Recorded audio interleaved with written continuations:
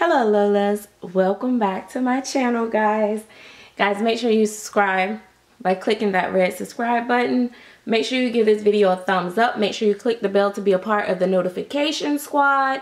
Guys, make sure you look out for my live stream, also upcoming giveaway. And guess what? Your girl is what? Ready to spill the tea. So let's talk about some things, guys. As you guys know, baby Phoebe is the Willow Awake, um, sculpted and poured by Claire Taylor. She was painted by myself. Um, for you that, some of you that may be new to my channel, um, I do paint reborns. I have been painting reborns for quite some time now. Um, however, I am fairly new to painting silicone. Um, this is only my seventh baby that I've painted in silicone. Um, she is the first skin tone first one that I did in this skin tone. Um, I think each baby that I have done so far has been a different skin tone. Um, as you guys know with my reborns, I try to do different skin tones. And so, of course, with silicone, I'm going to try to mimic the same thing. However, um, I know a lot of people have been frustrated with me. And I say this all the time because I want to want to keep it fresh in you guys' head to understand that it's nothing about me trying to be all of that or trying to act funny or trying to pick or be selective but I am still learning. I am still new. Um, I do have the basics and everything together. I I have babies out there with mommies that are active with their babies and they're not having issues. So um, that's fine. Um, but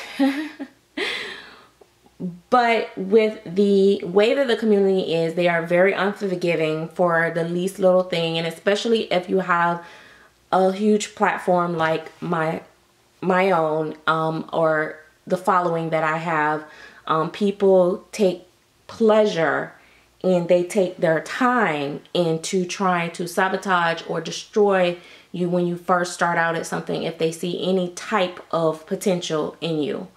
And I don't want to deal with that so early on while I'm in my learning process. I am doing a custom for a friend in the community that has been following me for a while. And like I said I had promised. It's kind of like one of those funny things like girl if I ever paint silicone I promise I'll paint you one. And it's like one of those type things. However she is paying for her baby. Don't get it twisted but I just want to, and I'm going to change her in a few minutes. Um, but I just want to get this part out so that I don't get off cue. So, um, so that is my main thing about painting silicone, selling silicone. That's why I'm not doing it as of yet.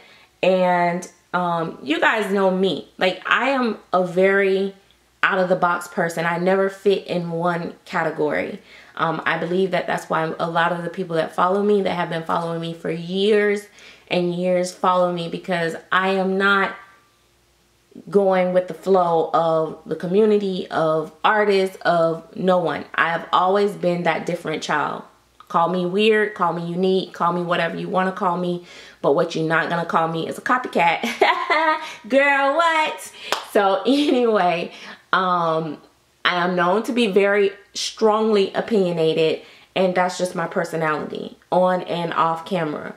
However, you know, it is one thing that bothers me and my main pet peeve with this community is the fact that you will have individuals that will follow you to the end of the earth. They will buy everything that you buy. They will, you know, do everything that you do and then at the same time turn around and throw shade, hate on you, you know, do all this sideways stuff. It's like if you're gonna be a fan, be a fan. I'm a fan of several people, collectors, artists, sculptors in the community. I would never, never throw dirt on their name if I see them as an inspiration or an influencer or someone that I admire their style, their taste, or whatever.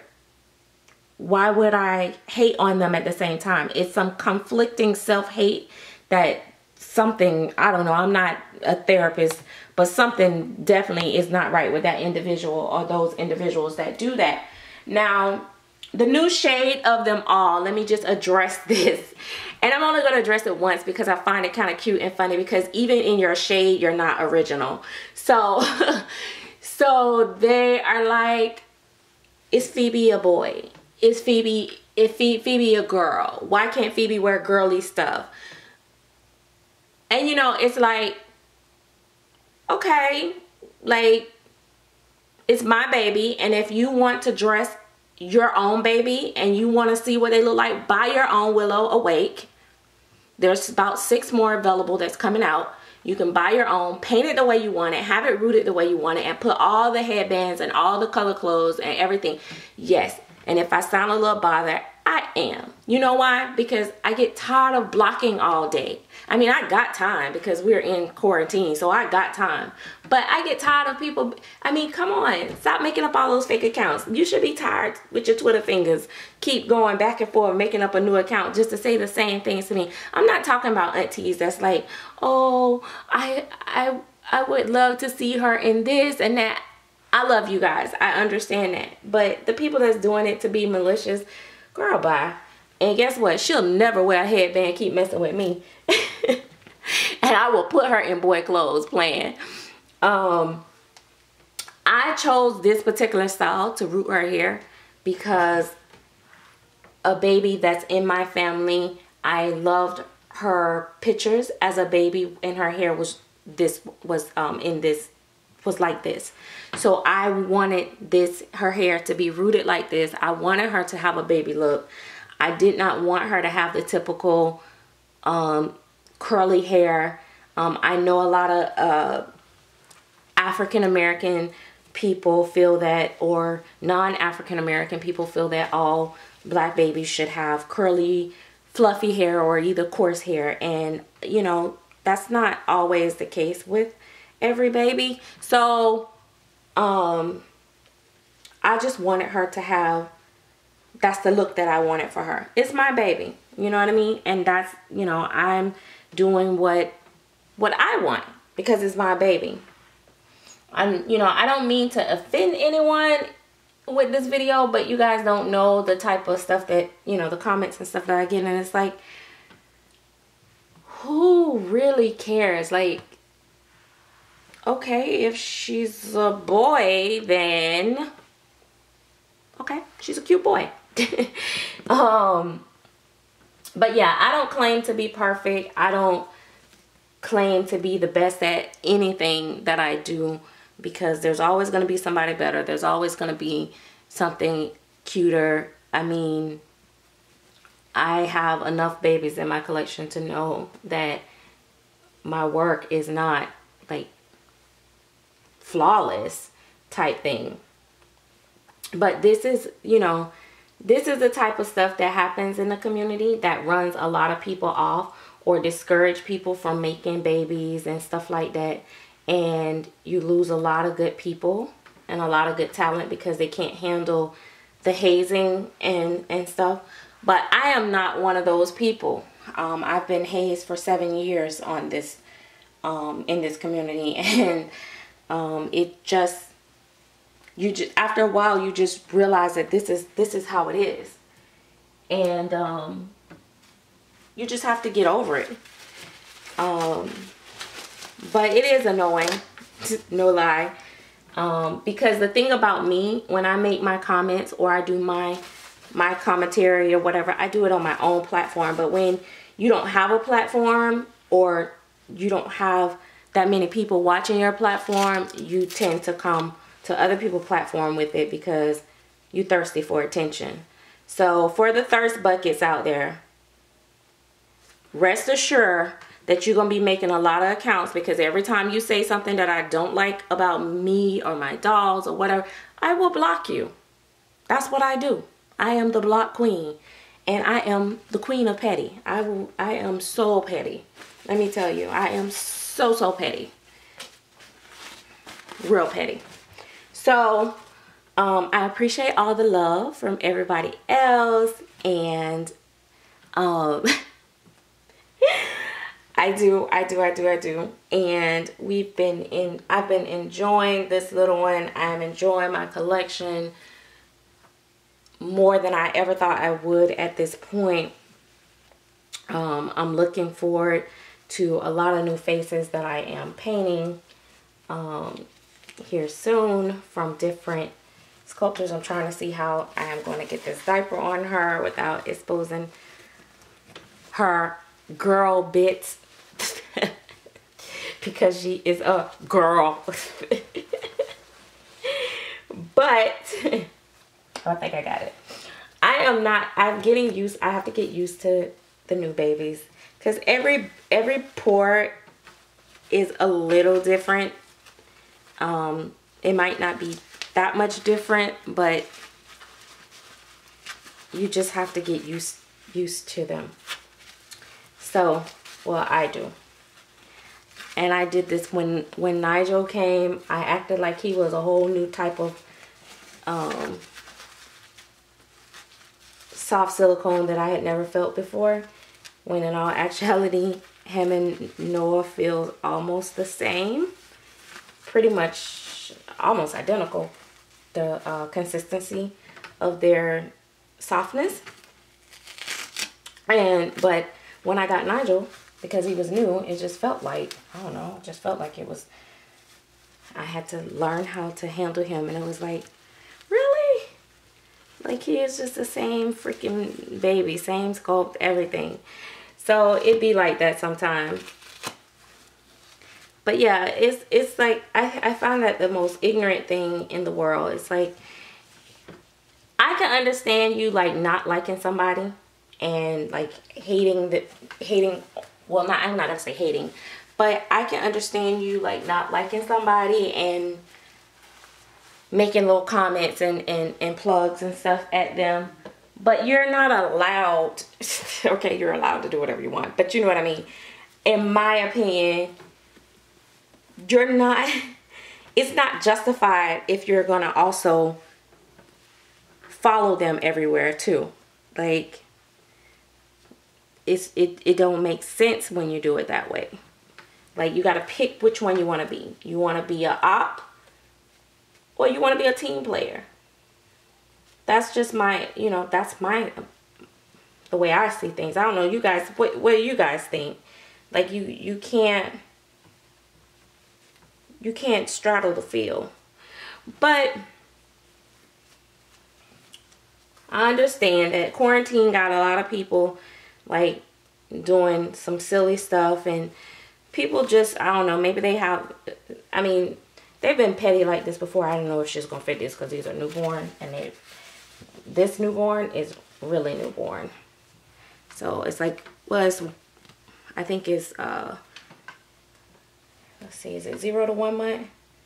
Yeah, this is like zero to, to one month. So it's newborn to one month. So, yeah.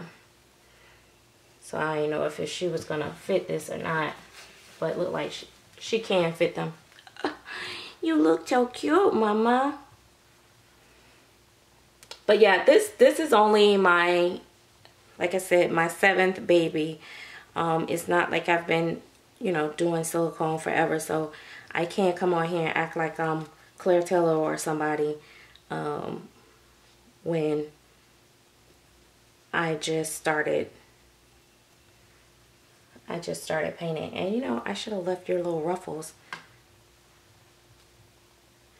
inside. I should have brought you some other socks. But we're going to do it like that. I think that looks better. But yeah, um, but yeah, that's, that's been the thing. It's like, it's, it's so stupid. Like even on my Instagram where I've showed her in like pink and, you know, all pink and frilly, um, one of the people had a nerve to say, so is Phoebe a boy or is Phoebe a girl?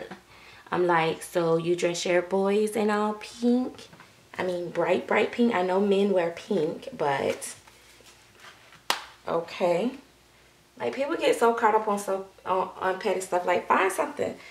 Gosh, like it's you know she has other flaws that you guys can can can pick at. I mean, she has a little um discoloration right here on her wrist that I'm to go in and, and, and fix that I hadn't noticed. Um, I mean, that's more appropriate to pick on. but um, yeah, it's it's good. But for the most part, everybody accepted her well, and say all that really matters is that I love her, and um, like I said, this this this is exactly why a lot of my babies remain private and will never reach social media. Like never, ever, ever, ever. I will not share my, my collection with no one fully. No one. Um, because I don't, I, I believe in good energy and I just feel like once people start putting bad energy on you, it it make you feel some type of way if you don't be careful. You gotta have a really strong mind um, to combat that. And even then, it kind of, I mean, because look, it kind of, I kept trying to avoid not talking about it or whatever, but it kind of pull you in that that space. But um I do agree though, she can be easily a boy though. Um, with this hairstyle, definitely she could still be a boy. She would be a cute boy too. But um, she's not. She has her girl bits and eventually she will get her ears pierced, but I'm not doing that until I finish, like I said, go in and do whatever touch-ups that I want to do on her. And then I will um, I will I will pierce her ears. But you know, and that's the other thing about me. I'm very transparent for the most part about my work and I let people know that my work is not flawless. I'm not one of these people that, you know, edit my photos or, you know, use filters and stuff to get you guys to believe that my work is more than what it is.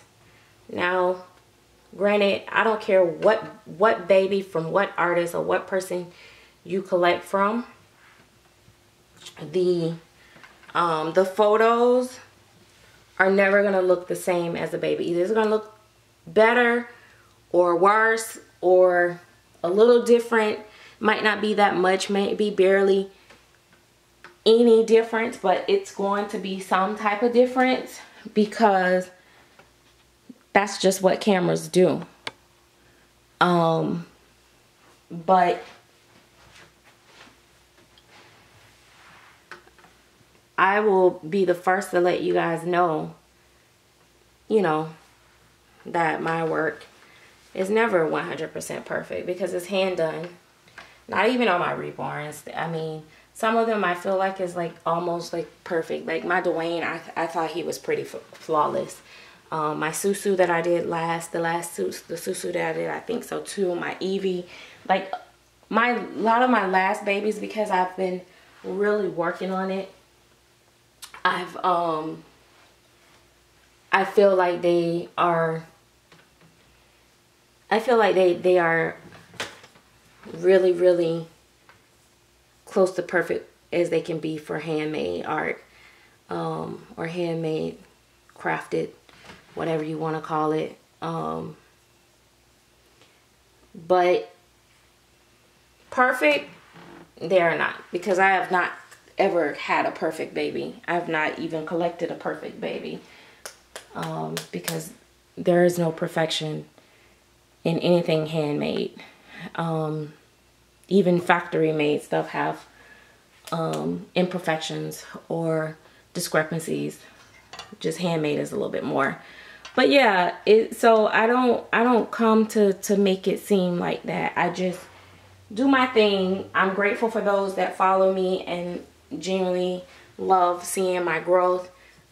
And um, those that are not i just want them to find something else to do with their life and their time um, than to come and try to get on my nerves because i have little patience too because i am also in quarantine state mind too. I'm i got time so, and so that's, that's just how it is right now. So that, that's that. Um, like I said, it's just, I don't know. But that is little Miss Phoebe. And like I said, she would definitely,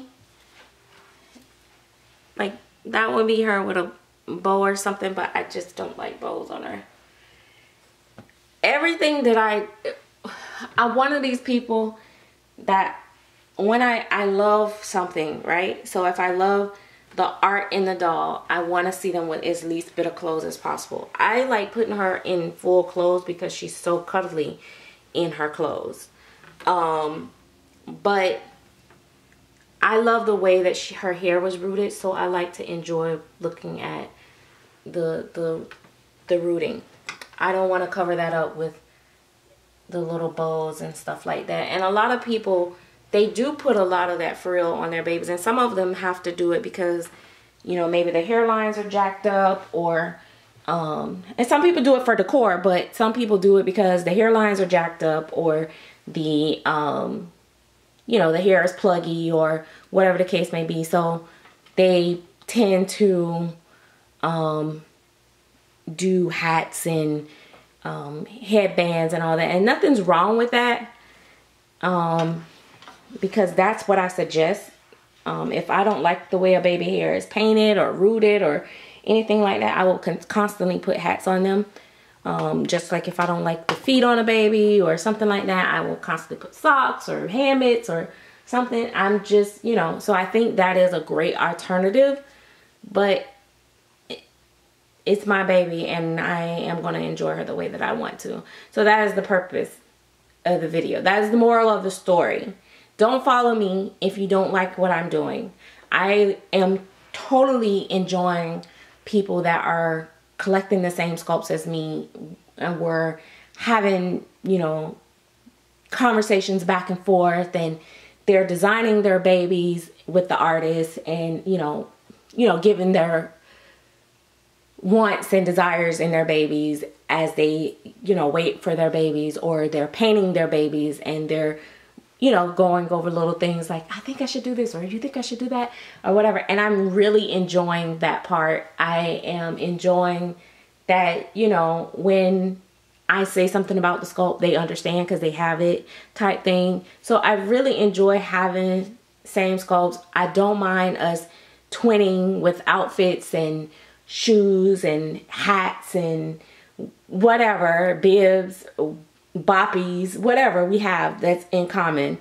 But I don't understand the mentality of hate the person that you love or throw shade. You want to make them look like trash, but at the same time, you're doing your very best to do everything that they're doing.